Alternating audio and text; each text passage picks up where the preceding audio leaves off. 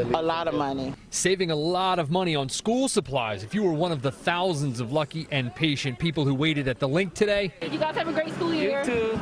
You drove off with free book bags and supplies for your kids, courtesy of the Philadelphia School District and some corporate partners. I mean, I'm expecting to get a book bag and school supplies to get me ready for virtual learning online. Philly students will start classes from home. The district believes good supplies will help them take it seriously. Business as usual as much as possible. And so we want them to have designated areas for them to learn and, and receive the instruction, but to also just be focused and do the best that they can do to uh, have a really good school year. So not many people are buying things like new school clothes, new school shoes, and lunch boxes, but reports show people are spending more on technology items like laptops, tablets, headphones, anything to sort of make the virtual learning setup more effective for the kids.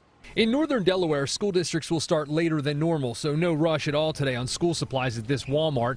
Many private and Catholic schools are heading back in person or in a hybrid mode this week or next, but the public schools will be virtual and start later. They are not coming here. We're going to meet them on their computers. Kathleen teaches at Highlands Elementary. She raised money on her own to get her students laptop cushions so they can work better from home. She will get to see her new students just one time in person.